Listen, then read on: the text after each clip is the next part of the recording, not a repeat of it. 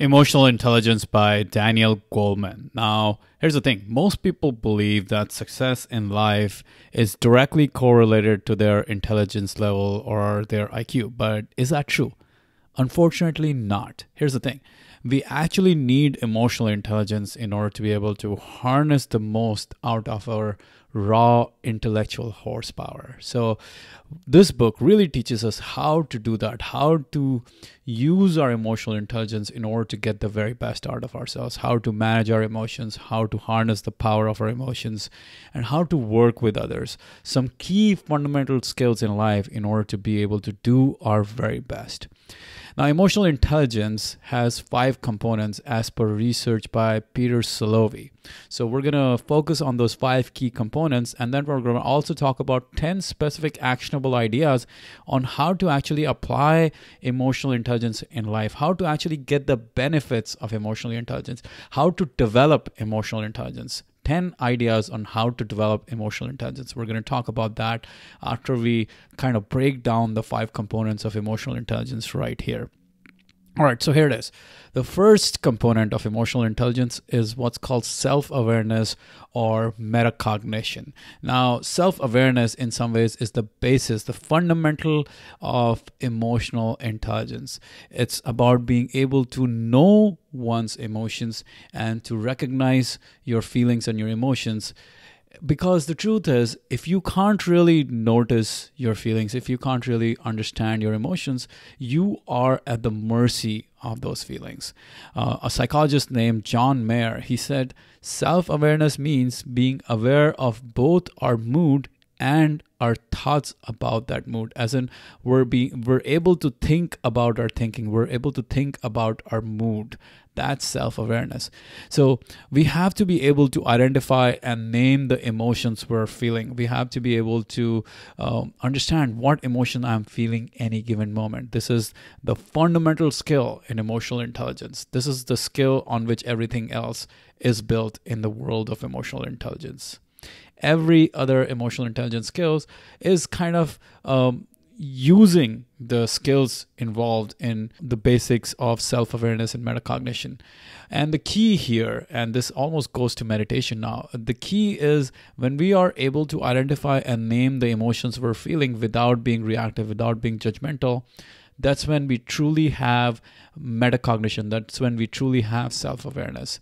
Because what happens is, as soon as we're able to identify and name the emotion we're feeling, our neocortex, or the language part of the brain, the prefrontal cortex, gets involved. It needs to get involved. And in order to be able to observe the emotion, be able to name the emotion. And as soon as we do that, now we have gotten away from the grip of the amygdala, the lizard part of the brain that's only thinking about fight or flight and that gets activated in face of really charged emotions in some ways. So, all of self awareness and metacognition really boils down to us being able to rise above the experience and a meta level of consciousness, being, being aware of the experience as it is happening, rather than being completely immersed in that experience, not being able to rise above that experience. And uh, this is, in some ways, as I talked about, this is the essence of mindfulness meditation, a meta level awareness, developing that metacognition, being able to see your emotions and being able to experience that emotions without judgment, without being reactive. All right, so that was the first component of emotional intelligence. The second component of emotional intelligence is our ability to manage those emotions. So, first we identify those emotions, we observe those emotions. So, now we have to be able to manage those emotions, right? Especially the ones that are charged emotions, negatively charged emotions. The key is the ability to handle emotions, not to suppress emotions selectively, not to numb emotions that's the other thing.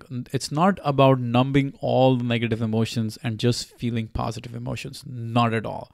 As Aristotle said, the key is to have emotions appropriate to the circumstance. Not too much, not too little, not to numb negative emotions and only feel positive emotions it's not actually possible to do that if we we cannot selectively numb our emotions we have to be able to feel both so we have to develop the ability to diffuse the challenging emotions, to feel the emotions and let them be, to not let them run our lives. There are a lot of specific things we can do to manage our emotions, and we're going to talk about that in the 10 specific actionable ideas on developing emotional intelligence. So stay tuned for those specific actionable ideas. Now, the other component of emotional intelligence, the third component of emotional intelligence is self motivation, harnessing the power of your emotions. Now, here's the thing being able to use your emotions in order to get the goal you desire is crucial. It's crucial. That is really important. In, in fact, that is a key to high performance in the highest of pursuits, being able to uh, use your emotions in face of obstacles and challenges to be enthusiastic and persistent even when things are hard that is a requirement to give your very best.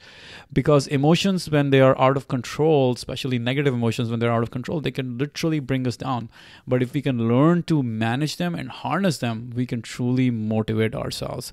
If you had two different people who had very similar mental capacities however one of them was severely limited by their emotions because they could not handle their emotions, while the other one was able to use their emotions to give their very best in their pursuits. Who would you bet your money on? Who would give their very best? Who would be the winner?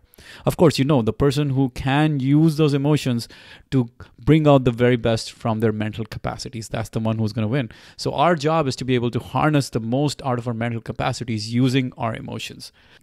Now, there's a lot of uh, talk about how stress is bad for you and how stress should be totally avoided, but that's not truly the case. And let me explain that by what's called the Yerkes Dodson curve. Actually, our performance tends to go up with a little bit of stress. We can actually perform better. In fact, there's a peak performance zone where we give our very best when the stress is a little bit at the medium level. Too much stress will impede our performance, but too little stress can lead to ennui and boredom. Now, here's the thing while some people have a very small stress profile, some people can have a very large stress profile. So, in this graph, we have on the y axis is performance and on the x axis is stress. And if you look at this, it is like an inverted U. So the uh, your performance kind of goes up as the stress level goes up up till a certain point, and then it kind of peaks out at a certain stress level, and then it starts to diminish, right? However, different people have dif- different stress profiles. So while some people might uh, actually start to go down when the stress level gets uh, to a certain level other people actually might start peaking at that level other people might have a much wider stress profile in the sense they can handle a lot more stress and still give their very best while some people might be able to handle very little stress and only then can they give their very best the key is for you to be able to understand where you are in the stress zone to be able to tune yourself so that you are constantly able to give your very best under the highest level stress or under a very wide level of stress. That is the key to be able to give high performance at various different levels of stress. That is emotional intelligence at its best. And this is uh, a research by Yerkes Dodson. That's it's called the Yerkes Dodson stress curve, stress performance curve. Highly recommend you check that out. So realize we can improve our performance even under stress levels if we know how to be emotionally intelligent. Now, I want to dig a little more into how to manage, how to self motivate, how to harness the power of our emotions. And not only that, show you some actual tests that show how important the power of controlling our emotions, of managing our emotions.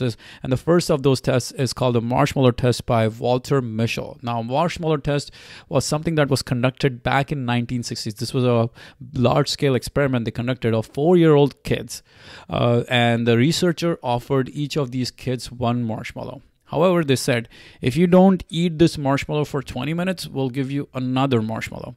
Now, as you can expect, some kids couldn't wait and just ate the first marshmallow, while some kids waited for the second marshmallow. And for and the researchers actually followed these kids for 14 years, and then 14 years later, they looked at their SAT scores. The kids who could not wait for second marshmallow, their average SAT score was 1052, while the kids who waited for second marshmallow, who were able to delay gratification, who were able to control impulses, their score was 1262. So almost 20% higher than kids who did not have impulse control or self-control. And that is literally um, as you can see, 20% is a huge number just by having that ability to delay gratification, just by having that impulse control. huge uh, advantage these kids had and these kids went on to become much more successful they were much more socially adjusted and they had much better people relationships and all that stuff. So you might be wondering how you can develop impulse control how you can develop this uh, self-control and willpower. Well there are quite a few great books on these topics. Willpower by roy baumeister willpower instinct by kelly mcgonigal and we have full summaries of these books in our 2x mental toughness program where we summarize where i've summarized 60 of the greatest books on uh, building self-confidence building self-esteem building mental toughness building willpower all those different aspects of uh, building mental toughness. 60 book summaries are completely in this package, and you can check it out by go to 2000books.com slash tough. There's over 15 plus hours of um, video summaries of book summaries in there, so check it out.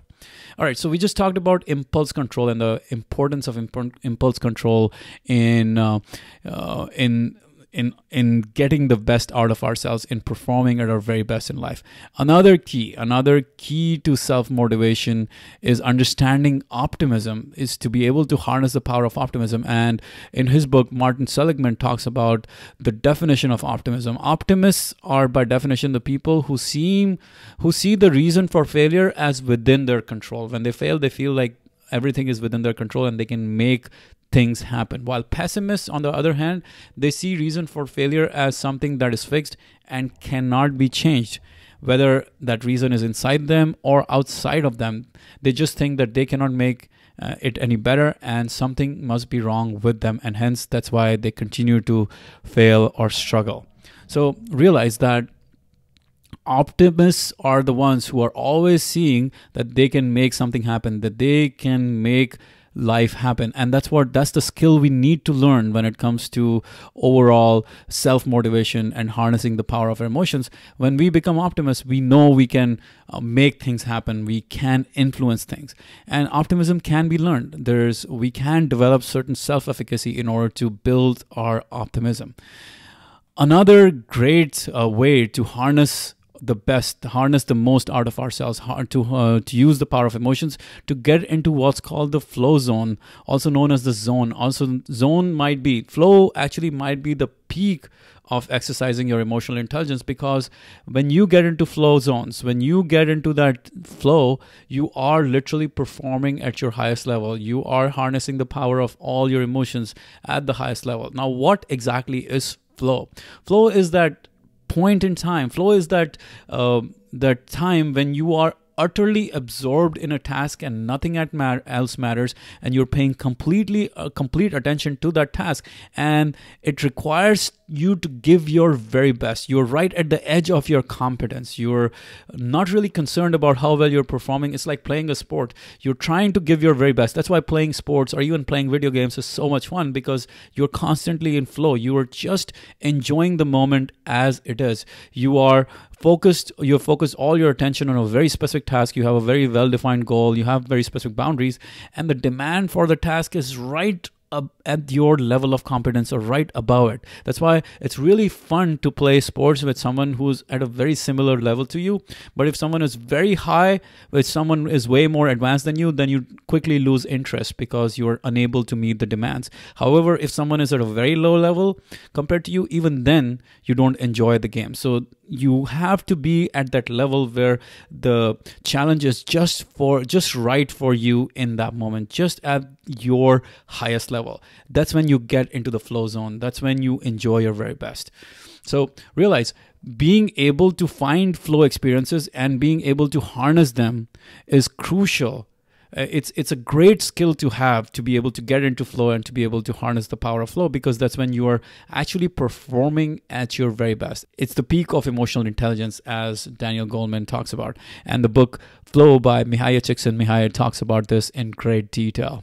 All right, so we talked about three key components of uh, emotional intelligence so far self awareness, metacognition num- being number one, second being managing emotions, the third being self motivation and harnessing the power of emotions.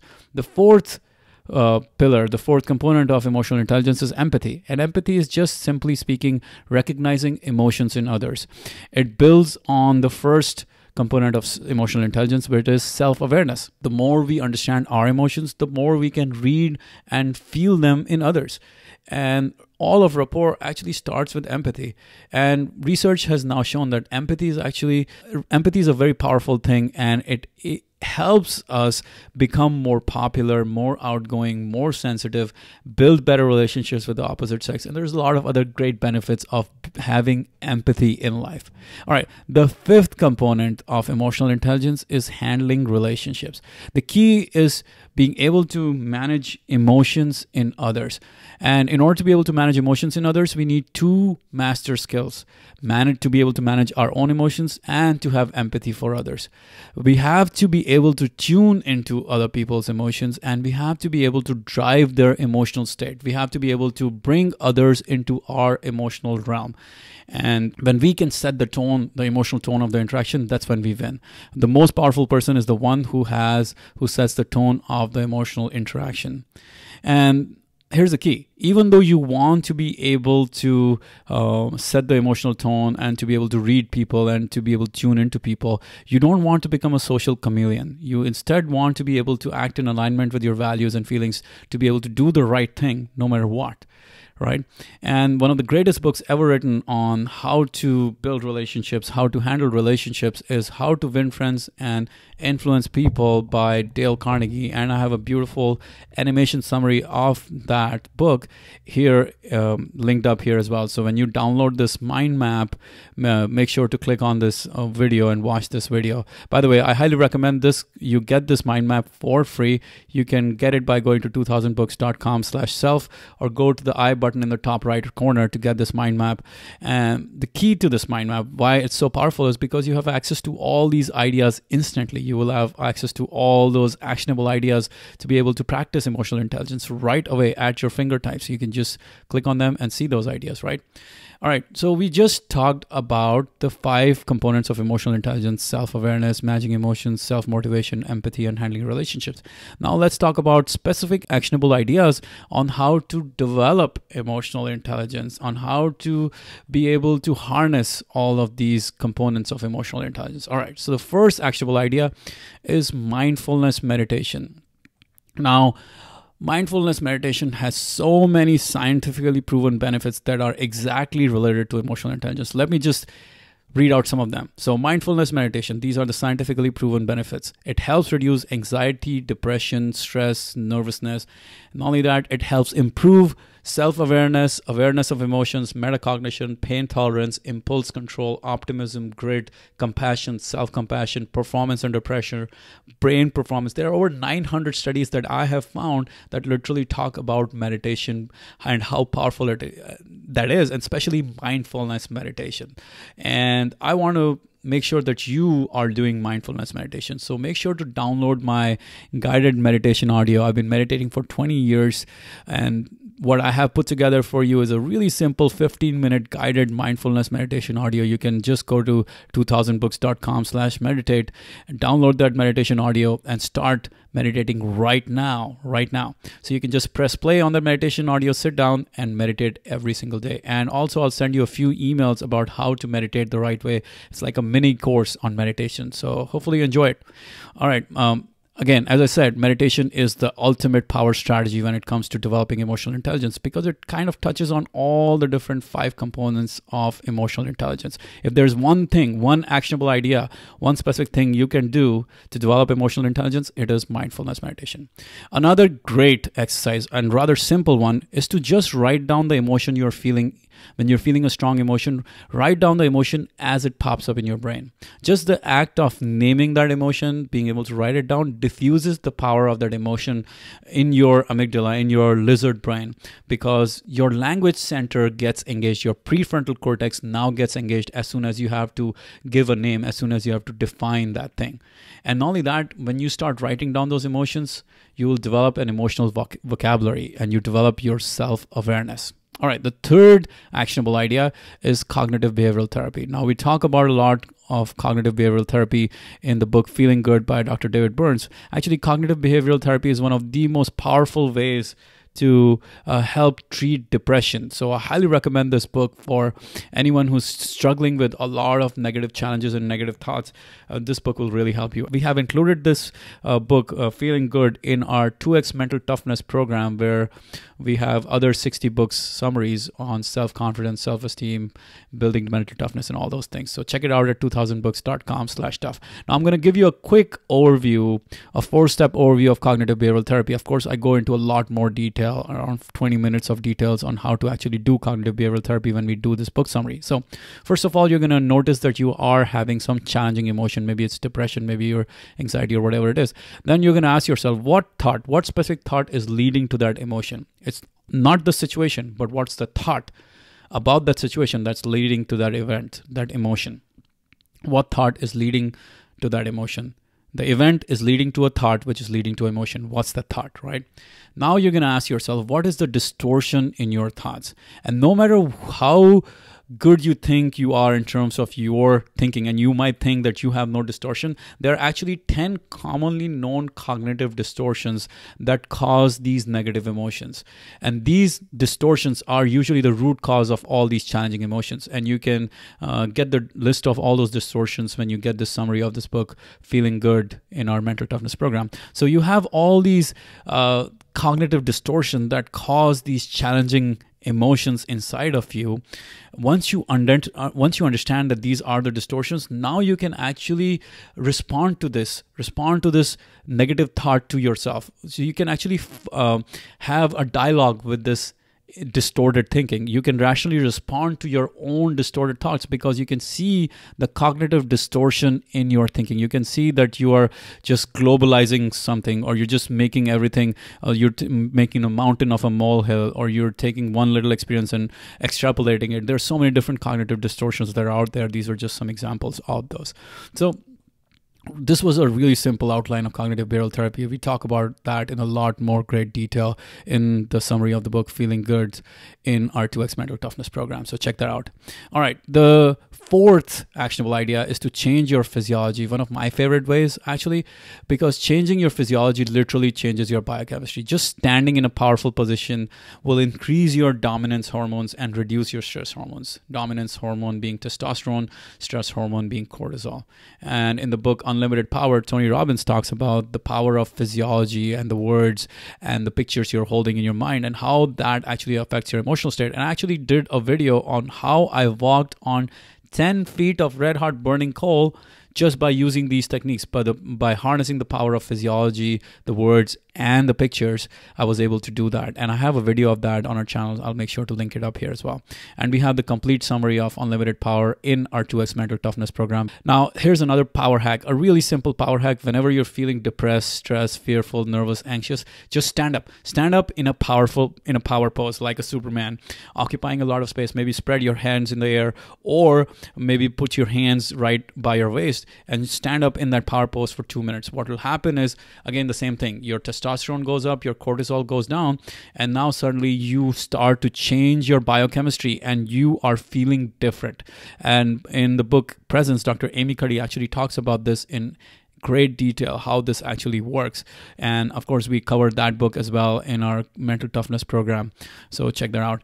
And one of my favorite hacks, along with these uh, power body language hacks, is simply changing your biochem, changing your physiology to go walking or running. That itself will shake you out of a mood. When you, I am feeling like I'm in a funk, when I'm feeling a little down, I go for a run. And if I go for a run for 30 minutes or 45 minutes to, for an hour, I'll certainly forget about that down mood and I will be in a completely new state. Um, the changing of that physiology will completely change my biochemistry and I am a new person. That's one of my favorite ways to dominate my negative emotions in some ways. All right. By the way, make sure you download this mind map for free because you can literally get access to all these ideas at your fingertips any given moment. And to order to download this mind map, all you have to do is click on the I button here at the top right corner of the screen, or just go to 2000books.com slash self and you can download this mind map. So make sure to get this mind map, okay? All right. The next actionable idea is deep breathing. Now, this is a very simple exercise when you are stressed out, when you're nervous, use this one. Okay. Breathe in using this pattern. Breathe you are you're going to be breathing in in this pattern just for maybe 10 breaths maybe for a minute and suddenly you'll be able to see a difference in your emotional state. So what you're going to do is you're going to inhale to the count of 4 hold your breath to the count of 4 and exhale to the count of 8 with your mouth open. So let me just do it with you. Inhale to the count of 4 hold to the count of 4 and now exhale to the count of 8 That's it. And you repeat this pattern for 10 breaths. What that does is it gives control back to your prefrontal cortex, away from your amygdala, and you're back to being centered again. So, a really powerful exercise, really simple exercise. If you just do it for one minute, you will get control back, especially when you're angry. Try to do this. Try to do this deep breathing pattern for just 10 breaths. Inhale, hold, exhale. Make sure the exhale is at least twice as long as your inhale because that's when it really cools you down in some ways. Really simple uh, hack. It's actually been proven, this simple breathing pattern has been proven to reduce your blood pressure as well. So, a very powerful breathing pattern here. All right, the next actionable idea is to architect a small win. When you are feeling unmotivated, lazy, lethargic, sad, or in a funk, you assign yourself a small task. Even write it on a small piece of paper, and then when you complete it, cross it off from the piece of paper. It'll give you an emotional boost. It'll give you a sense of completion, a sense of victory, and then you're ready to take on a bigger challenge. I, I use this quite often, especially when I'm feeling like I'm in a funk. I will assign myself a small task, arrange this task, or a small task like uh, do the dishes, or small task like uh, arrange the bedroom. Anything like that, I'll assign myself the task, and then I'm going to complete it. Even if it takes just five minutes, once I complete it, I cross it off from the piece of paper and I feel good. I feel that I've uh, I've accomplished something, and now I can go and accomplish bigger victories. So architect a small win, a great way to get yourself out of a funk. Another great actionable idea is to help others in need, one of the most powerful ones. In the book Upside of Stress, Dr. Kelly McGonigal talks about how uh, they did research studies and found that mortality rate goes down by 33% if we spend time on a weekly basis helping others in need. Of course, we covered this book uh, in detail in our mental toughness program, so check it out at 2000books.com slash tough. Another book, How to Stop Worrying and Start Living. Uh, it's one of the Dale Carnegie talks about the idea of how helping others in need is one of the greatest ways to change your own moods for the better. How that itself will stop all the worry and help you enjoy your life. And I have a complete video of this book of how to stop worrying and start living and the eight best ideas from it. And it's, it's right here. So you can click on this video when you get this mind map and you'll be able to watch this video. So help others in need. All right, number eight in the list of actionable ideas to build emotional intelligence is empathy exercise. Now, this is really simple. Try to read other people's emotions by just watching their nonverbals, and you'll be surprised how accurate you can be when you start to develop this practice. Develop this practice of reading their face, reading their eyes, reading their smile, reading their the way their hands are, reading the way they're sitting, reading the way they're standing, reading the way um, they're walking. All of those over time, as you do this again and again, you will develop the ability to to watch people's nonverbals and realize what emotions they're feeling. When I went to a Tony Robbins seminar called Unleash the Power Within, one of the exercises he made us do was split us up into pairs of two, let's say person A and person B. And person a was asked to enact to to go into a specific emotional state whatever they want. And person b was supposed to figure out what emotional state person a was in and usually, one of the best ways to do that was to start to actually adopt the same specific physical state that person A was in. If person B were to adopt that physical state, they would certainly start to feel that emotion. And that's the key. To be able to just be able to feel people's emotions, to be able to understand people's emotions just by watching them is a very powerful uh, strength you can develop. And it's a very powerful uh, key to develop your emotional intelligence, right? It develops empathy. Another actionable exercise is to reframe. Now, reframing is a very powerful way to handle any negative, uh, negative thoughts or feelings you have about a situation, no matter how difficult the situation, if you ask yourself, how will this situation turn out to my advantage and why is this good for me? Now you're reframing that to something positive. And you can even reframe your past failures, how that specific failure helped you move forward, how it made a positive impact in your life. And in the book Awaken the Giant Within, Tony Robbins talks about a lot of specific reframes, different kinds of reframes, reframes. And we, of course, summarize the whole book in our mental toughness program. Check it out at 2000books.com slash tough. Another great reframe is to realize that the obstacle that's standing in the way is the way forward. And there's a whole book by that name called Obstacle is the Way by Ryan Holiday, um, which it says um, the one of the most powerful quotes in the book is by is from Marcus Aurelius, the great Stoic philosopher. He said, "The impediment to action advances action. What stands in the way becomes the way." He's literally reframing the impediment as something that advances action. He's reframing what's standing in the way, the obstacle in the way, is the way forward. A great book, by the way, to check it out, and it's also in our mental toughness program. We summarize the book in there as well, so check it out. All right, another and probably the last actionable uh, idea we are going to talk about is how, not what. When the words from people are in conflict with how they're saying them, you have to trust how they're saying rather than what they're saying. You have to trust their body language, their tonality, their gestures, their voice. As you might have heard, 93% of communication is nonverbal, and that's actually true. We have to trust the nonverbals, not the words that are coming out of their mouth. So don't trust what they said, trust how they said it. All right, guys, I hope you enjoyed this video. I hope you learned a lot about emotional intelligence from this video. Make sure to get this mind map for free. Click right here to get this mind map or go to 2000books.com slash self to get the mind map. And if you haven't yet subscribed to our channel, make sure to do so by clicking right here. We have a lot of great book summaries on personal development and also book summaries on business and entrepreneurship. So you're going to enjoy a lot of uh, learning a lot of these great ideas on our channel. So make sure to subscribe. All right, guys, see you next time. Bye bye.